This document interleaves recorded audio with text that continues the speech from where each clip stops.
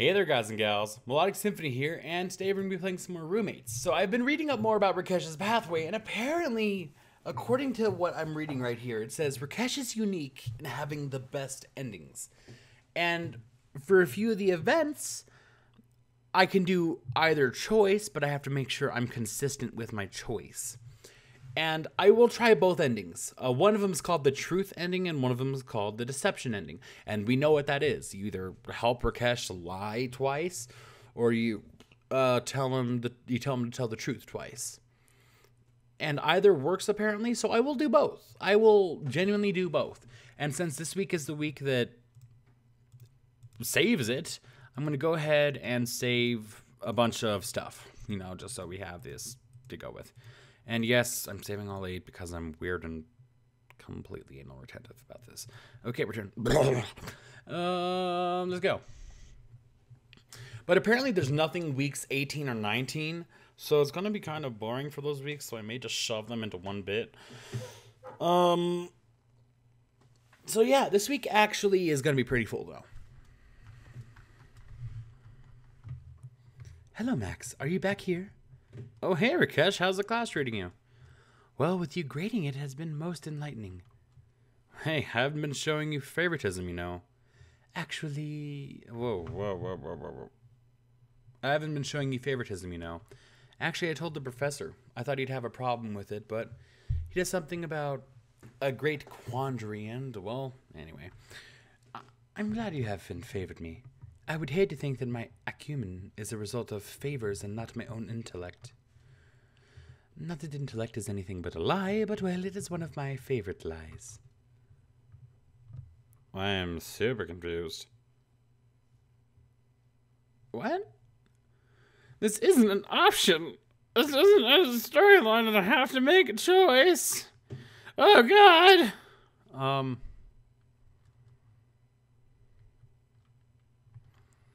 We all lie to ourselves. It's just about uh, something. Since it's not, it's just about how much. It's all about maintaining the illusion of the self. I will admit there are some things I don't entirely understand. It's pretty easy stuff, really.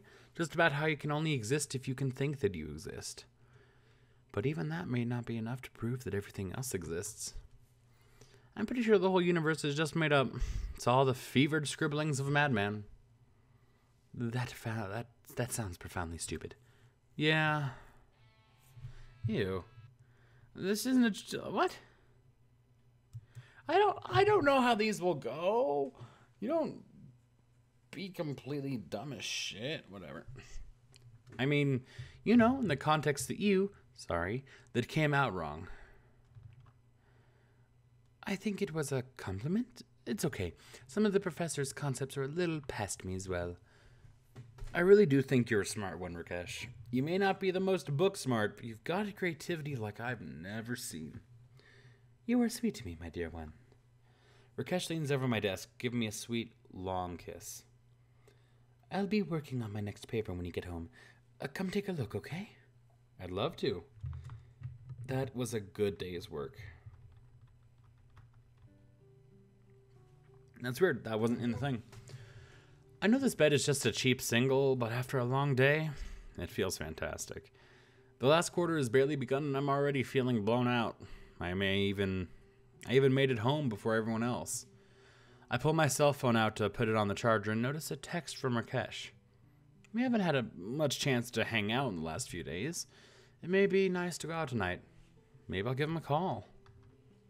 I smile and call up the speed dial contact for Rakesh. Hopefully, we can at least catch a bite to eat together. Oh, Max, I'm glad you called. In my room, you will find a screwdriver, a color wheel, and two boxes of streamers. I need them immediately. Uh, Rakesh, I'll be there in five minutes. I knew I could count on you. Five minutes later, I show up in the park, trying to spot Rakesh. I finally spot him waving at me from over by a tree. I walk over, handing him the box with all the things he asks for. Ah, thank goodness. What are you up to, Rakesh? Well, primarily, I wanted to see you. Rakesh scratches his head with a goofy grin. I reach over and give Rakesh a quick peck on the lips.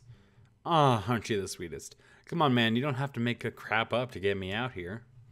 Rakesh smiles and shrugs as he moves away from the tree over to where he stashed his bike.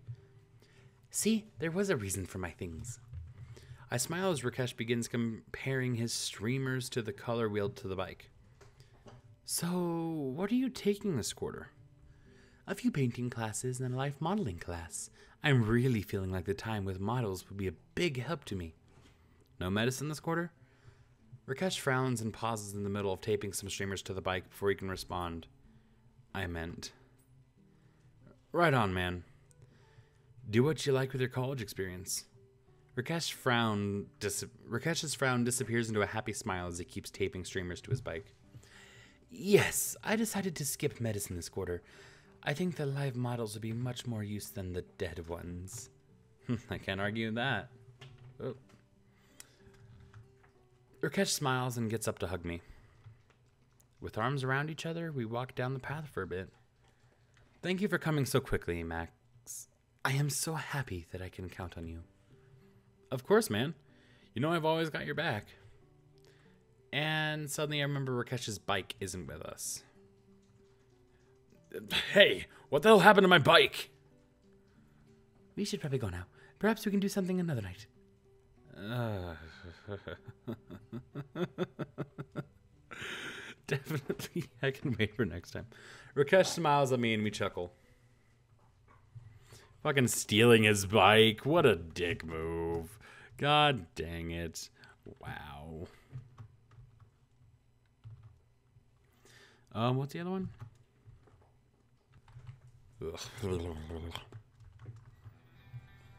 I'm not really sure what I want to do tonight.